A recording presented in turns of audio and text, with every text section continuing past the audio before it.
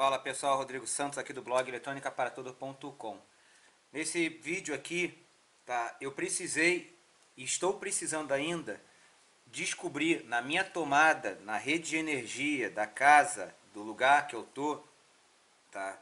Vamos lá, né? A rede de energia agora é assim, o negócio assim, o plug, né? Eu estou precisando saber aqui, ó, qual é o fase? Não sei. Qual é o neutro?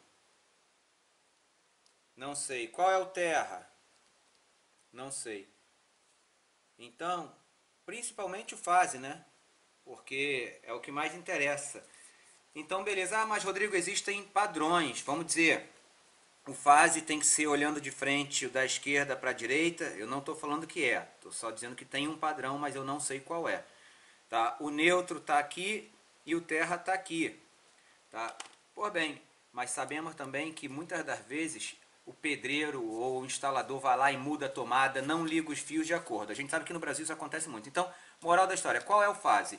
Então aqui eu resolvi desenhar. Vou fazer um para mim, vou tentar mostrar para vocês aqui. Um circuito busca-polo tá? Vou tentar fazer uma parada bem simples, utilizando uma lâmpada neon.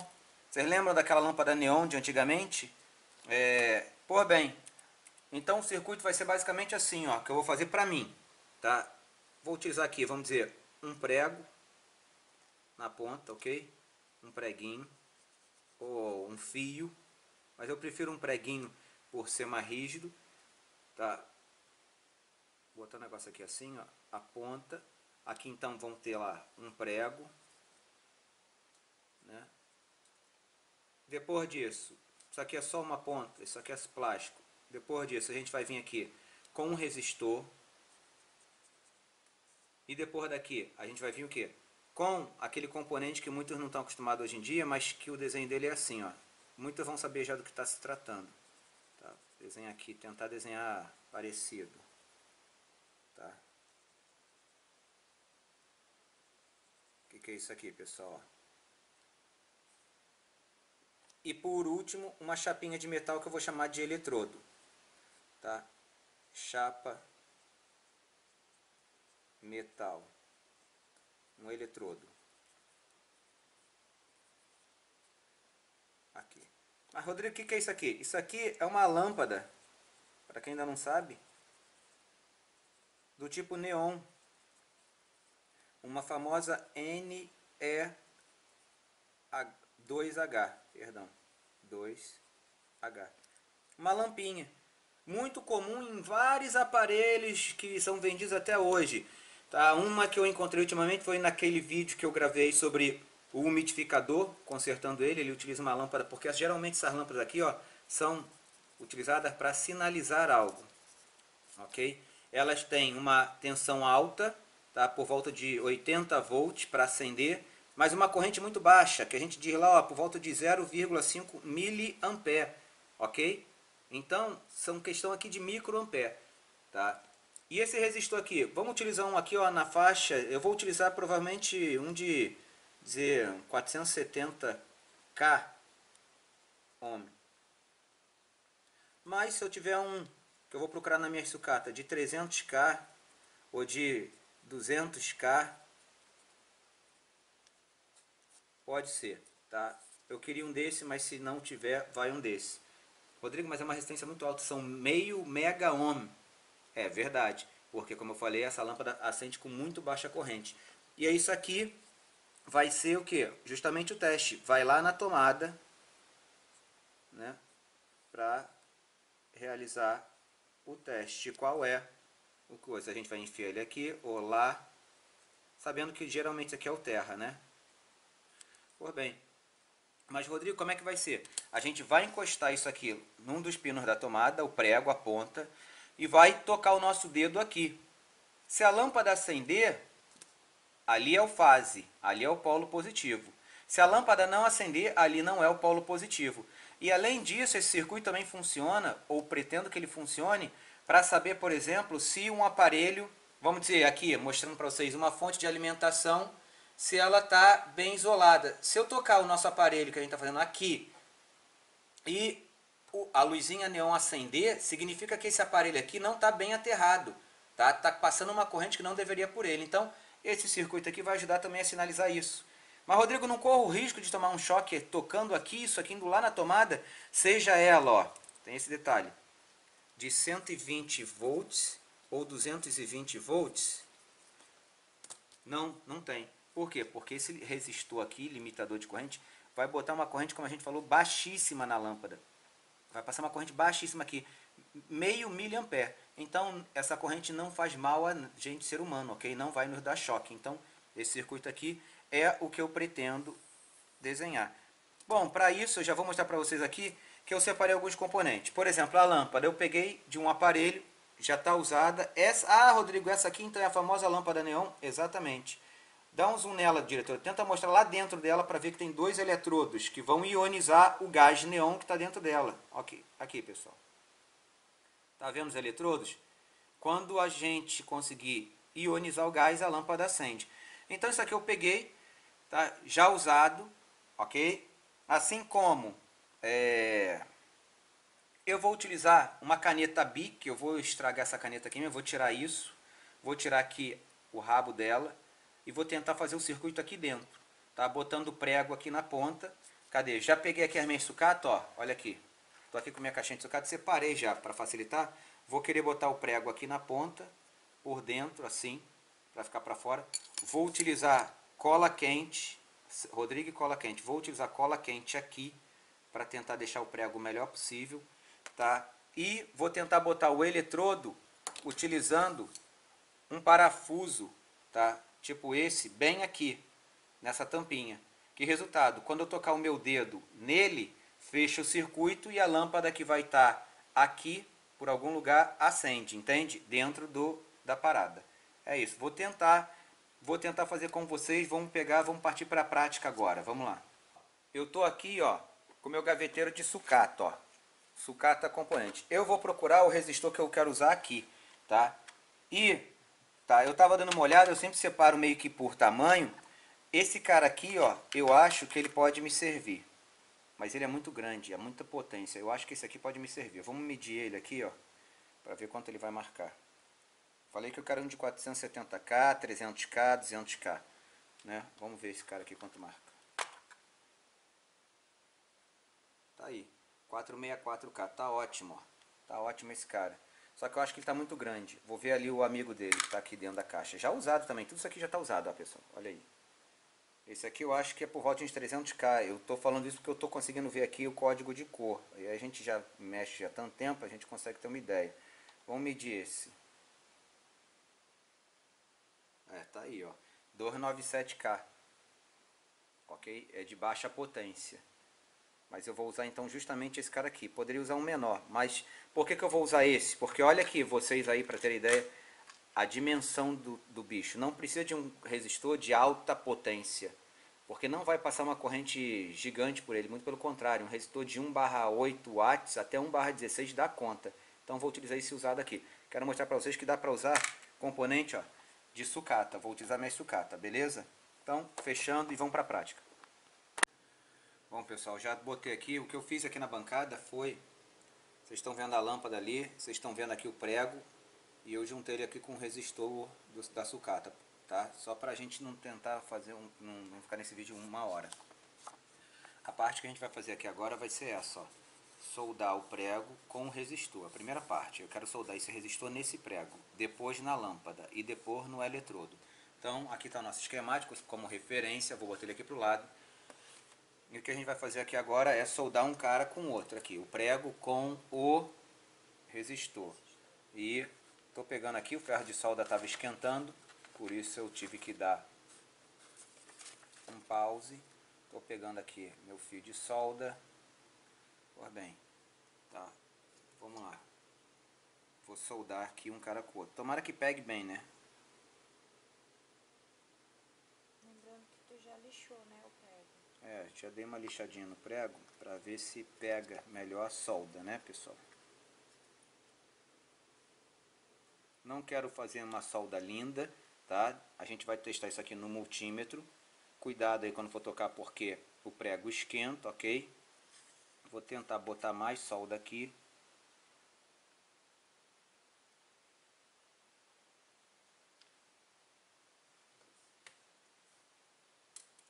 Bom,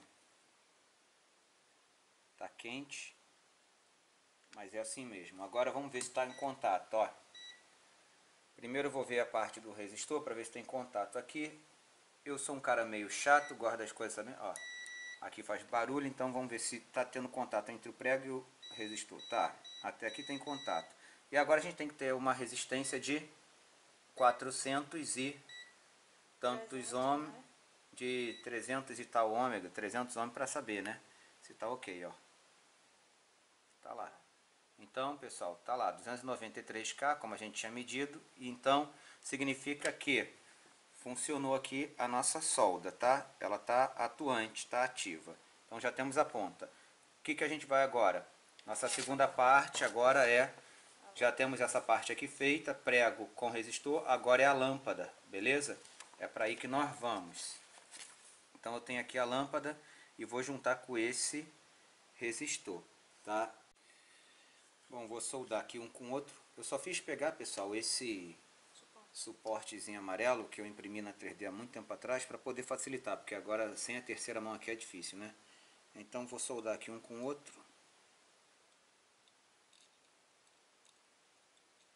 Você lixou também para ajudar ou não precisa? Não, esse aqui não precisou não. Normalmente já deveríamos ter contato, vamos conferir mais uma vez, tudo eu falo, confira com o multímetro. Temos que ter então o que?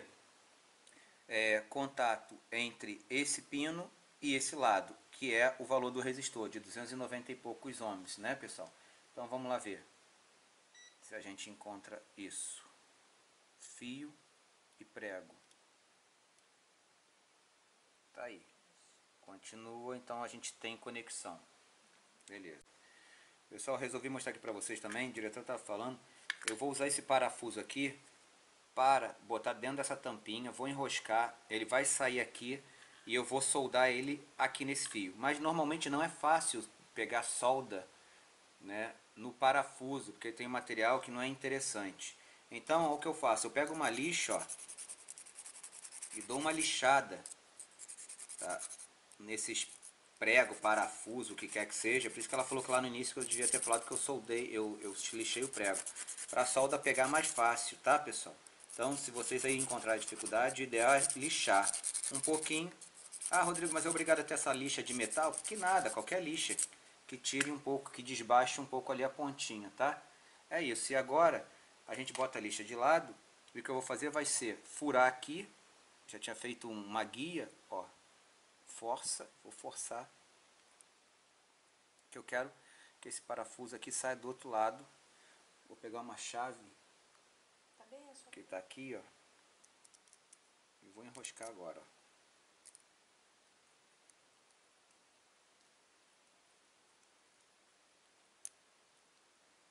Segurar bem para fazer prender legal. Pronto. Tá aí. Acho que dá para ver por que, que você está utilizando a própria tampinha da BIC, Rodrigo? Para poder utilizar, em vez de botar um eletrodo aqui, que até com papel alumínio daria, mas para somente encaixar. Tá? O lance que eu estou com receio é da lampinha que vai ficar aqui dentro, que essa lampinha aqui ó, vai ficar lá dentro. E o que eu tenho que fazer aqui agora é soldar esse cara aqui. E depois tentar embutir tudo isso ali dentro. É o que eu vou fazer agora. Vou soldar esse cara aqui, ó. Tá? Vamos lá. Tá aí pessoal, acabei de soldar, tá? E ficou assim, não ficou lindo não, ó. Mas acho que dá pro gasto. O mais importante é a gente saber se tem contato entre o fio e a solda.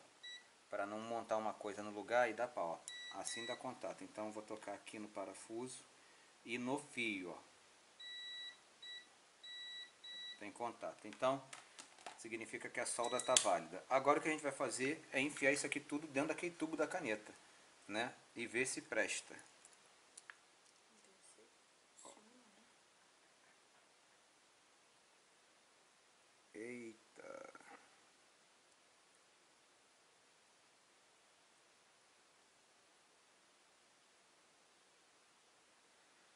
A lâmpada tinha que entrar, mas ó, parece que ela não vai conseguir entrar.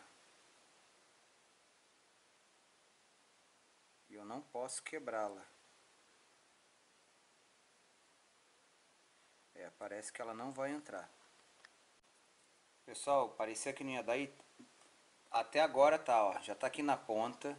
O que eu fiz foi cortar, ó, vocês estão vendo aqui uns fiapinhos, eu cortei, ó, com o alicate um pouco desse protetor do fio para justamente afinar, para ficar só o contato. E agora estou tentando colocar lá dentro. Estou usando aqui uma coisa de madeira para não quebrar a lâmpada, tá? Mas ainda assim é difícil, porque tem que entrar esse parafuso, mas vamos tentar.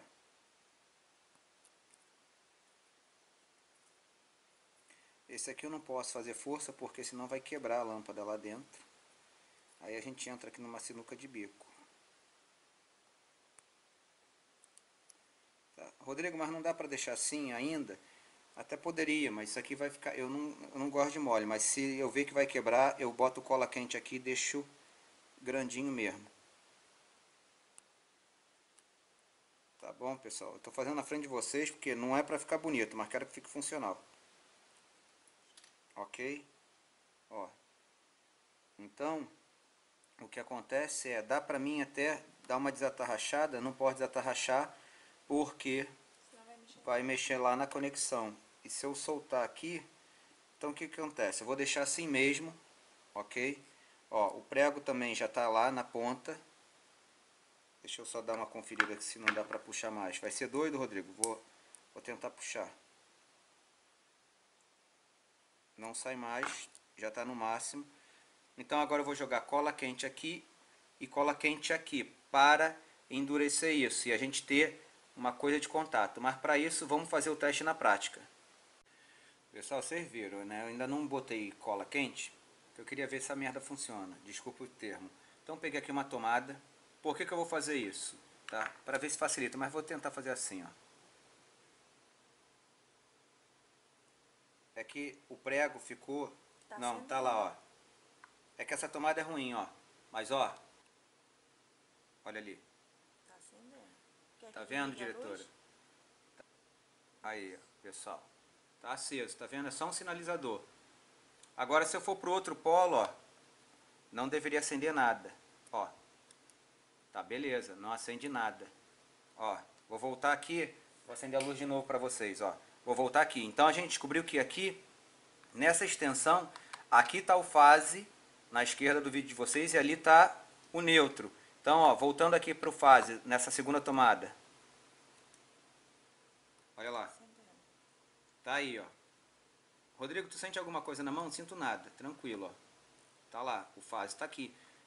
Na primeira, mesma coisa. Entendeu? Então, pessoal, agora a gente pode colar com cola quente e ver como fica no final. Sabendo que funcionou. Vamos lá. Colei, botei cola quente aqui na ponta, tá? Ó, botei cola quente para segurar o prego. E botei uma colinha quente aqui que não dá nem pra ver, tá? Mas agora não tá mais bambo. Então, seguinte, vou botar de novo aqui o negócio na tomada. A gente aqui tá trabalhando com 127 volts e vou tocar vou tocar minha lâmpada. Olha lá. Aqui é o fase. Rodrigo, e se fizer a mesma coisa aqui no outro? Ó. Nada acende. Ah, eu quero ver então aqui nesse outro. Deveria ser neutro também, né? Óbvio. Ó. Nada acende. E nesse que deveria ser fase? Tá aí, ó. Então, pessoal, a gente confirma que o nosso projetinho de garagem de bancada com sucata, olha lá, Funciona. funciona. Tá? E a gente pode, ó, enfiar na tomada e, ó, saber. E se tiver com menos luz, é porque aqui eu tô com muita luz, mas, ó, vou botar ó, vocês verem. Fácil, né? Terceiro pino aqui, ó.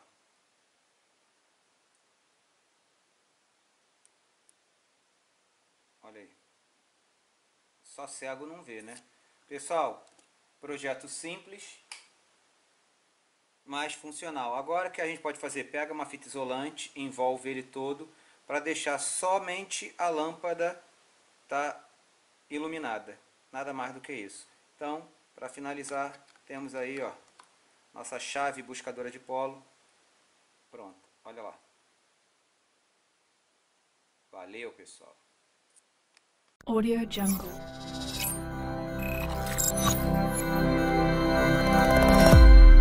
Audio Jungle.